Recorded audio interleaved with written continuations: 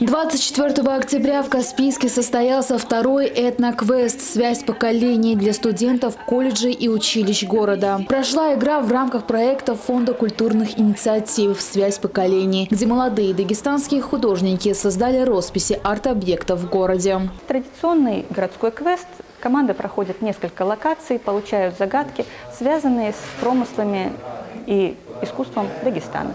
Если они ответили на вопрос, они получают адрес следующей локации. Весь этноквест проходил по центральным улицам города и специально созданным объектам, за которыми закреплены волонтеры. Студенты должны были перемещаться от точки к точке, разгадывая загадки. Основная цель проведения данного квеста – это ознакомление молодежи с культурой республики. Участники, которые заняли первые три места, получают э, подарки от нашей этнической студии, а, а также сертификат на посещение кафе и сертификат на участие в интеллектуальной игре в Махачкале.